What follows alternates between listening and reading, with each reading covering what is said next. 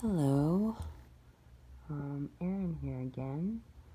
Uh, just wanted to share this painting I'm working on with you guys. Um, been working on it for quite a long time, um, off and on for two years at least, but I mean, a lot of times I set them aside and then come back quite later, so, you know, just when it's time I'm back at it. But I'm very excited about the transition in this piece.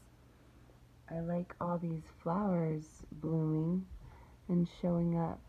Um, my work really does pick up on a lot of the chaotic um, feelings in our world.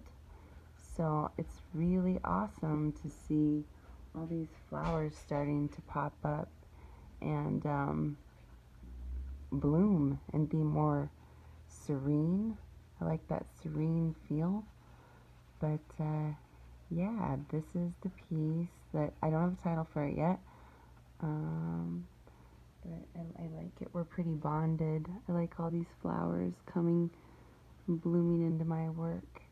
Um, it really just makes me so happy because I feel like it's a sign of the times. I think like the vibrations little by little getting brighter and brighter and happier and you know the happier we all are the happier everything will be. So I want to jump on that train. I don't know about you guys. But yeah. Happy day. Painting putting some flowers in. I'll show you the whole piece so you can get a better feel for it. Yeah um there it is. This is my latest work it will change a little. I don't know how much. I never do until it's completed, but thank you for watching. Have an awesome day. Bye.